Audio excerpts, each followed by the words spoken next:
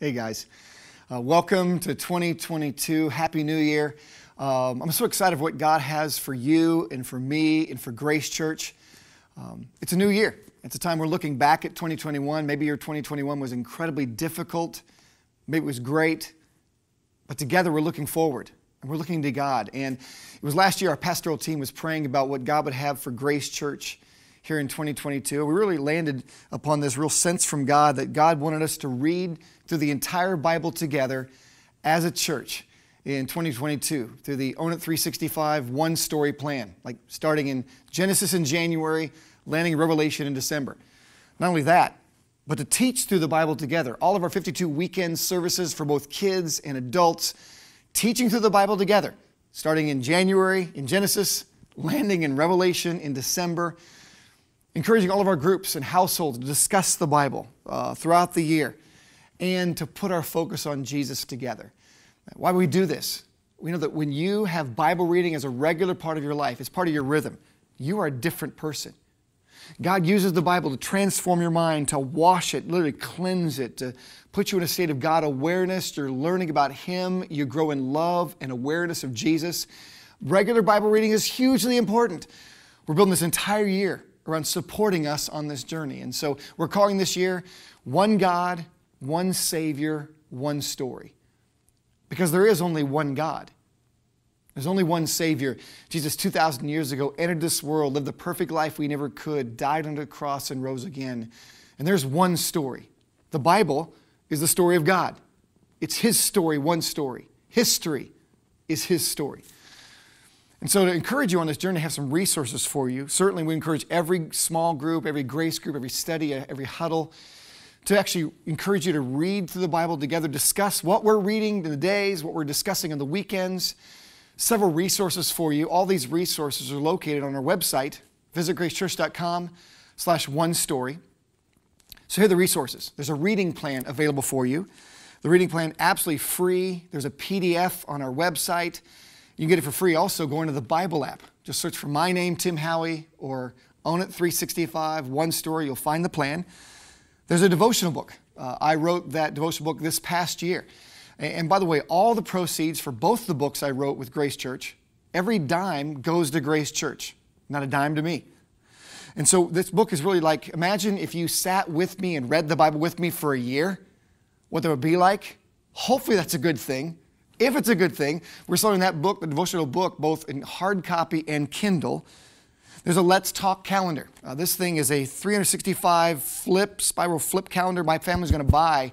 We're going to throw it on our kitchen table. We did this several years ago. It's perfect for fostering spiritual conversations at our kitchen table, in our household. The Let's Talk calendar.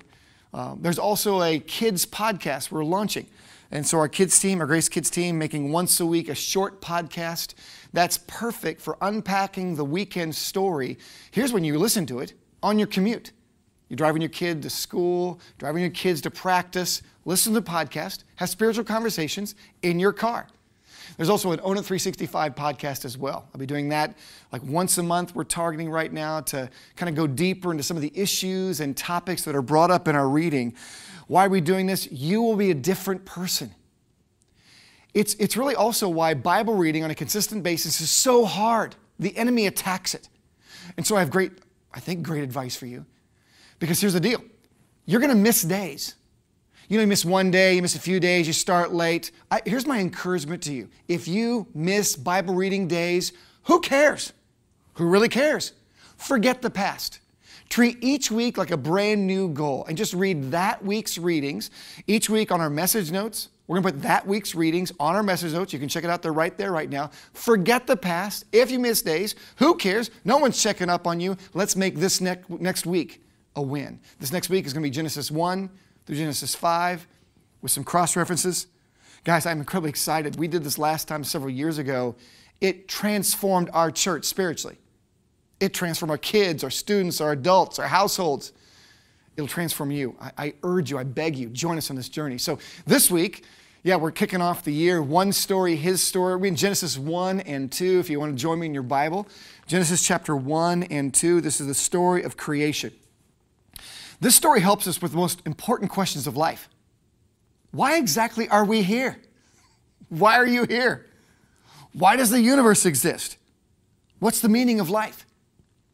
Guys, if your story is not just your story, many of us treat our story like just our story. But if our story is part of a larger narrative, his story, one story, we find our meaning in his story.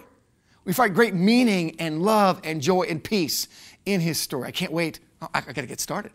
So, uh, would you join me in praying for our church, pray for our people that we all join this 52 week journey together? I'll lead us in prayer. Join me in praying.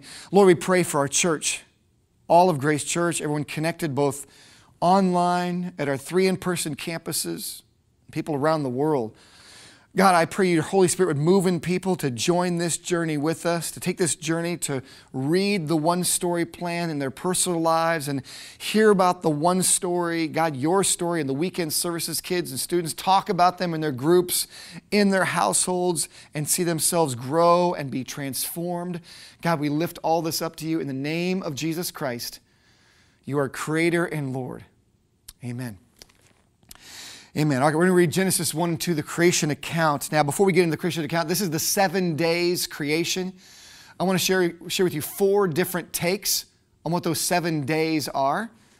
Uh, seven days are, they could be, some people say literal 24 hour days, just like on earth, 24 hours like an earth day. Some people say it's literal, every day is literal, but it could be a larger time period. You know, kind of like Venus, a day on Venus is eight months long. So they say maybe the day is a period of time that's a bit longer than that, but it's literal. Third group of people, well, it's metaphorical.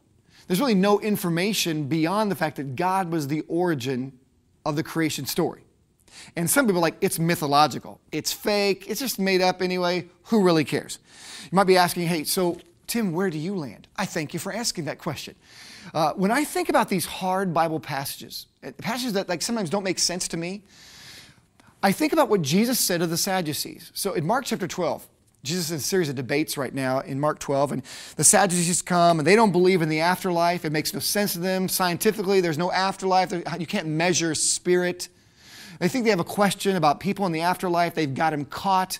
They bring this topic up to Jesus.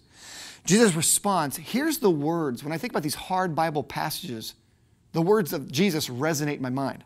It's this Mark chapter 12, verse 24. Jesus answered and said to them, Are you not therefore mistaken? Because you do not know the scriptures, nor the power of God. Jesus answers them as they question the afterlife. He says, Well, you only have two problems. One is you don't know the Bible. you don't know what God actually said. You're misquoting God, and nobody likes being misquoted, especially you, especially me, especially God. You're misquoting God. Secondly, do you not believe God could do this? Do you have like suffer from tiny God syndrome, TGS? Like your teeny tiny God could not have an afterlife? And when I read the Christian story, like throughout the Bible, when, when stories are metaphorical or figurative, quite often God says, it's a metaphor, it's a figure, here's the example. So the challenge is when you jump, it'd be terrible to like jump into something that's actually literal and just call it figurative. And so I land in the literal camp. Now, to be honest, yeah, I, I, I say to my kids, this is what teach my kids.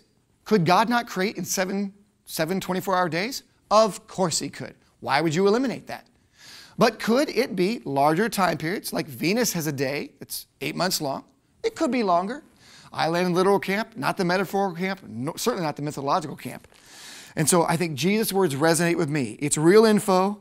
I'm all, sometimes not sure how it's true, but I know God can do it. All right, now let's get to the story. Finally, you're thinking. All right, so Genesis chapter 1 and 2. I can't wait to get there. Uh, and so I want to actually teach you a bit of how to read the Bible as we go on this journey this year. What I do when I read the Bible is I'm just aware of what pops off the page. That's often the Holy Spirit bringing things up to you. And this nature of the infinite Bible is every time you read it, something different pops up as the Holy Spirit's teaching you, revealing things to you. And so I want to encourage you to be aware what jumps off the page for you. When you do your readings, make notes. Oh, that jumps out. Here's a question I have. That's a wow factor. And you may think, I don't know anything I read but one word forgiveness. Well, that was God's message to you. Apparently, God's dealing with you in forgiveness. So, we're going to read all uh, parts of all seven days, all of day one, a verse from day two to five, some more of, of, of day six. We're going to walk through. What jumps out to you? I'm going to circle back and share the three things that jump out to me. Okay, let's read it. Genesis chapter 1, day 1, uh, verses 1 to 5. This is connected with light. It says this In the beginning, God created the heavens and the earth. The earth was without form and void, and darkness was on the face of the deep. And the Spirit of God was hovering over the face of the waters. Then God said, Let there be light. And there was light. And God saw the light, that it was good. And God divided the light from the darkness. God called the light day, and the darkness he called night. So the evening and the morning were the first day. That's day one. We're going to pluck a verse of next several days. How about a verse from day two where God created a space? Verse 7. Thus God made the firmament and divided the waters which were under the firmament from the waters which were above the firmament. And it was so. How about a verse from day three now, where God created plants? Verse 11. Then God said, Let the earth bring forth grass, the herb that yields seed, and the fruit tree that yields fruit according to its kind, whose seed is in itself on the earth, and it was so. Okay, now day four, pluck up a verse from there, verse 16, about objects in outer space. Then God made two great lights the greater light to rule the day, and the lesser light to rule the night. He made the stars also, which, by the way, is the greatest throwaway, throwaway line in history. he made the stars also?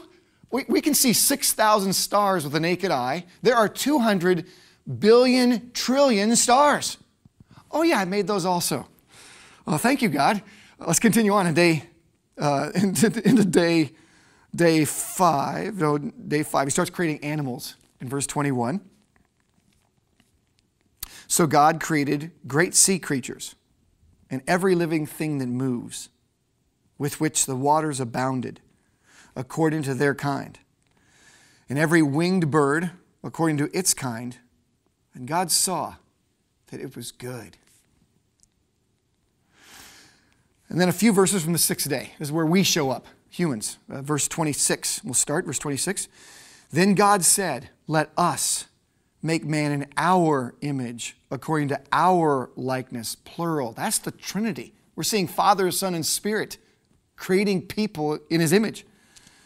Let them have dominion over the fish of the sea, over the birds of the air, over the cattle over all the earth and over every creeping thing that creeps on the earth. And some of you are out there like, I've wondered. Now I know.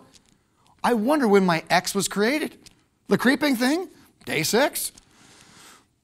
Let's keep going, verse 27. So God created them, uh, created man in his own image. In the image of God, he created him, male and female. He created them. Then God blessed them, and God said to them, Be fruitful and multiply, fill the earth and subdue it, have dominion over the fish of the sea, over the birds of the air, and over every living thing that moves on the earth. And verse down in verse 31, jump down to there. Then God saw everything that he had made, and indeed, it was very good. So the evening and the morning were the sixth day. All right, jump down to verse chapter 2, verse 1. We'll read three verses when God rested on day seven. He stopped working. Verse 1 says this Thus the heavens and the earth and all the host of them were finished. And on the seventh day, God ended the work, his work, which he had done, and he rested on the seventh day from all his work which he had done. Then God blessed the seventh day and sanctified it, because in it he rested from all his work which God had created and made. Okay, what jumped out to you? I guess how you read the Bible. When I'm reading the Bible, I'm like, things jump out, questions I write down, observations, aha moments, praises, things to do. Like, that's how you engage and grow in the Bible. So, I want to share three things that God had jumped out to me as I studied this passage. The third one I've been really thinking about, by the way, I, I think I forget often. I think it's not good. I'm glad to be reading the Bible and reminded of this. So, three things I want to share with you. The first one is comes to the fact that yes, this is a story of creation. Yes, you have day one through day seven. Yes, the universe is created, we're created, but but it's like we're featured players. We're not the star. Like we're also starring universe. It's clear when you read the story that God is the focus of the story. Specifically, God the Son. Jesus Christ is the focus of the story. It's His story. He's the one of the Trinity Father, Son, and Spirit. The Son is the creator of the universe. It's His story. Like every verse, every action's framed in reference to God.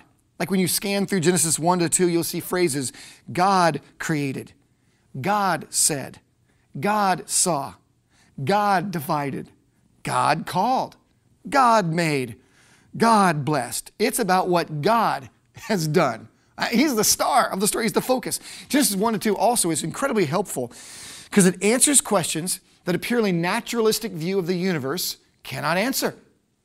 If you're a naturalist, if you don't believe anything is supernatural, you have some serious questions. Richard Dawkins, who's one of the most famous atheists and naturalistic evolutionary biologists, He's now 80 years old. I looked him up, and I actually I prayed for his salvation. But pause and pray that Richard Dawkins has his eyes open to the God who created him and loved him. But even this atheist, evolutionary biologist, admits there are four things that naturalism cannot answer. Naturalism cannot explain origin, sexuality, morality, or consciousness. Like if you have a purely scientific, quote unquote, naturalistic, evolutionary bio- biological view of the universe, you can't explain origin, but Genesis 1 and 2 says God had the start. In fact, science denied an origin of the universe until Einstein and Hubble, not until the 1900s, when science forced them to admit the universe had a beginning. Naturalism cannot explain sexuality. Why is there male and female? Genesis 1 and 2 answers it. It pleased God to make male and female. Science cannot explain, or uh, evolutionary biology cannot explain morality or consciousness but Genesis 1 to 2 can. We're created in the image of God. And if you want to go deeper into these questions, I will have a website and a book that can be helpful to you. The website's reasonablefaith.org. That's William Lane Craig's website. Great resource. Go type in your question. He's answered so many questions. There's also a book called I Don't Have Enough Faith to Be an Atheist by Norman Geisler and Frank Turek. You can go deeper in these topics. And by the way, I said Jesus is the creator. You want to see it?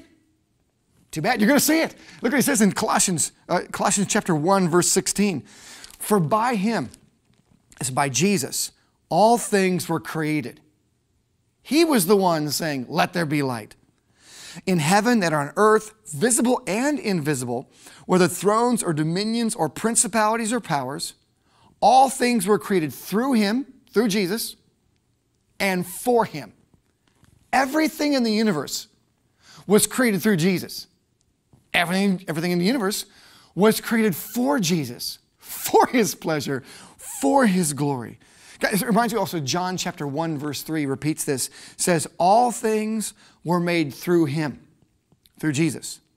And without him, nothing was made that was made. What jumps out at me, first of all, when I read the Genesis account, is God Himself is the focus of this story, and particularly God the Son focus of the story. It is one story from Genesis, Revelation, history. It is his story. It's about him. Okay, here's the second thing uh, that jumps out to me. Not only is he the focus of the story, but it comes from the opening words of Genesis 1. It's like every time I read this, I pause the first five words of Genesis 1, verse 1, which says, In the beginning, God created. In the beginning, God created. Okay, so it says God didn't appear at the beginning. He was already here. Father, Son, and Spirit were already here. And there was no here. Where is here? There was no here. There was just Father, Son, and Spirit. And it was His action which launched time, which launched space. And it leads to this thought that God, here's my second thought God existed before the universe. He existed forever before the universe. And this truth, I know this is true. I believe this is true. I can't wrap my mind around what this even means. Before time, before space, before the beginning, there was just God. There was just Father, Son, and Spirit living forever, uncreated, until God created and time began and space began. And you might be asking the question at some point well, what was God doing? He was doing something. And we actually find two things in Scripture that God was, at least two things He was doing. He was loving and He was planning. He was loving before there was a universe. He was enjoying life and love and joy in the relationship of Father, Son, and Spirit. That's John 17, verse 24. Listen to what Jesus prays. When this relationship before time began, Jesus praying that He made you and me to be a part of that, see that, be part, like embrace that ourselves. Look what it says in, in John 17, verse 24. Jesus prays, Father, I desire that they also, whom you gave me, may be with me where I am, that they may behold my glory, which you have given me, for you loved me before the foundation of the world. Jesus prays, Father, remember when there was nothing? There was just us? Father, Son, and Spirit, and we loved each other. Father loved Son, Son loved Spirit, Spirit loved Father, love all around, and there was glory shared. Remember when we just loved each We just wanted people, we created people to share this. How amazing is that thought? That God created you to share it. He was loving. And this is incredible. God made you to be a part of this. Sometimes you wonder, what is the meaning of life? I can't find meaning of life. When you try to find meaning outside of the one who created you and had this love filled relationship to one to invite you in, when you find you can't find meaning out of that, it'll leave you empty, a shell of a person. It's a good thing that you're not satisfied with other things out there. There's this longing inside you. God made you. He made you to take part in the love, witness His glory, be part of a family of God. That's what he was loving before there was a universe. He was also planning because he foresaw when he gave people choice in the garden, they would choose wrong. They would sin. We would sin. And God planned to send Jesus Christ into this world and die on a cross before time began. That's the phrase Revelation 13, verse 8. Revelation 13, 8 calls Jesus the Lamb slain from the foundation of the world. Not only before time began, God was loving, Father, Son, and Spirit, and created us to take a part of His relationship, His joy, behold His glory, but He planned to come into this world and die as a sacrifice for us. Yeah, God existed before the beginning, before the universe. Okay, the third thing that jumped out of me, and this is a thing that been, I've been spinning on, and I've been realizing I don't think about this enough. I forget this. This is not good. And that's what Bible reading does. Like parts of who God is, promises, character qualities, we forget. We're not reading the Bible like on a regular basis. And this, this thing that jumped out at me from Genesis 1 to 2, this third thing, comes from the seven times we read repeated. It was good, it was good, it was good, it was good, it was good, it was good. And wow, it was very good. God was, jumps out at me, God was creating things that were good, that brought him pleasure. In other words, God created the universe for his pleasure and his glory. God created the universe. God created you, created me for his pleasure and for his glory. So those phrases, okay, my favorite sport is basketball. My tragic great career in church basketball cut short by not one, not two, three surgeries because of Grace Church Basketball League. Thank you. But I, I picture it was good. It was good. I picture three pointers like it was good. Here's creation day. What? It was good. It was good. It was good. It was good. It was good. It was. And then day seven, it was very good. I, I read, I'm like, God is creating things. He's like, wow, that is good. That is amazing. It pictures my goodness, my glory, its perfection. It is so, so good. God created the universe for His pleasure, His glory. It's clear throughout the scriptures. Revelation 4, verse 11, talking about Jesus. The praise in heaven is going on, saying, You are worthy, O Lord, to receive glory and honor and power. For you, Jesus, created all things and by your will, they exist and were created. You might wonder what that will is. That will is His good pleasure. It's what Ephesians chapter 1, verse 9 says. Ephesians 1 is a great parallel to, to, uh, to the creation story and Revelation. Ephesians 1, verse 9 says, Having made known to us the, might, the mystery of his will, according, here it comes, to his good pleasure, which he purposed in himself. Yeah, God created the universe for his pleasure and his glory. That's why God created you. He didn't have to create you, he could have not created you, but you exist. You're a miracle. He brought you into this world for his pleasure, his glory. He had this love filled relationship before time began. He has joy in you you have no, no idea about. See, that's the thing I forget. I sometimes think about my failures and mistakes and those kind of things and view God as, you know, disappointed. I, have talked to others who feel like, I don't feel continually disappointed, but others in our church who feel like they continually disappoint God. And yet God compares us to a father and children. And when my, my daughter Malin, I, I, I do think our kids, if you're a parent, have no idea some of the good pleasure you get. And they're not doing anything profound. They're not accomplishing great things. It's not like my daughter accomplishes great things, I'm to love her more, have more joy. It's not. There are moments that Malin is at home, she's in second grade. Happens all the time. She says something, or she does something, and my wife and I'll make eye contact. And we got these huge smiles. And what she's done, honestly, doesn't matter long term. It'll be forgotten. But that moment of good pleasure, I'm reminded of the Trinity Father, Son, and Spirit. That when you know Jesus, Jesus, uh, Jesus is in your, like one with you, He lives in you with the Holy Spirit. When God looks at you, do you realize how much pleasure God has by seeing you one with Jesus, seeing the Holy Spirit inside of you. It's like the Trinity. You do things, and says, it's not going to matter long term. Who really cares? But I'm positive, like the, the Trinity makes eye contact and smiles and says, That's me. That's my goodness. I drive pleasure from it. That's the thing I've been struck with.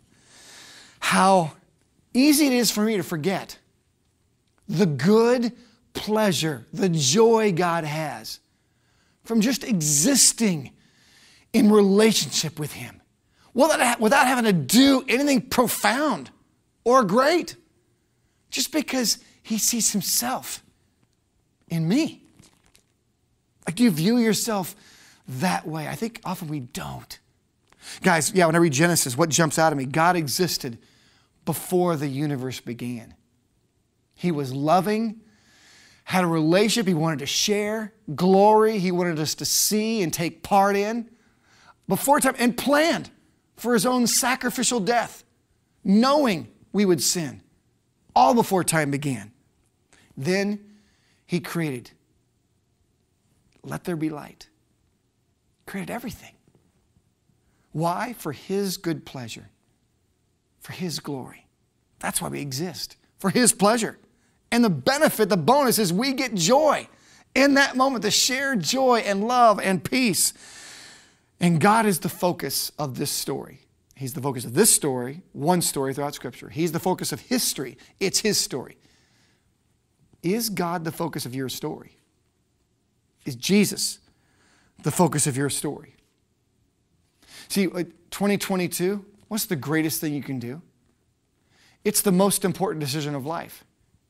Have you made this decision to make Jesus Christ your Lord and your Savior? To place your faith in Him as the one who came and died and rose again. What's it mean to make Jesus Lord? It means you surrender. You yield everything about you, everything you have, all your hopes and dreams, your future, you give as a gift. Like you're like a wise man with Jesus at Christmas, bringing gifts to Him. It's, it's all yours. What's it mean to receive Jesus as Savior? You admit you're a sinner. Oh, yeah, you know the things you've done. And you admit there's no way you can ever atone for those things. So you place your faith in Jesus Christ who died and rose again. Have you made that decision? That life transforming decision? Does the Holy Spirit live inside you? Are your sins forgiven? The greatest thing you could do right now is to pray, Dear Jesus, here in 2022, I receive Jesus, you as my Lord. I give you control of everything. I receive you as my Savior. I place my faith in you. Make me your child. Forgive me of sins. I want to be yours. That's the greatest decision you can make if you're not a believer. If you are a believer, I beg you, this year is about one God, one Savior, one story. This is only one out of 52 messages. It's, we're at 152nd, 1.8% into our story, the one story. I beg you to join us on the, on the, uh, on the website, visitgracechurch.com slash one story, or on the message notes. You can see we're going to read Genesis 1 through 5 with key cross references. Join us on this journey. You will be transformed. God will transform you, wash you, cleanse you, bring your mind to a God awareness. You'll learn about Him. You will love Him more. Join us. Let's pray. Lord, God, I pray for our church once again. You would allow us, move on us to join this journey. And every day we forget, or a week we forget, or we don't read, let us not beat ourselves up. Who really cares? Let's forget the past. Each week is a new week, a new goal, and just accomplish that weeks of reading. We pray this. Jesus, it's about you, your story, one story. In Jesus' name, amen.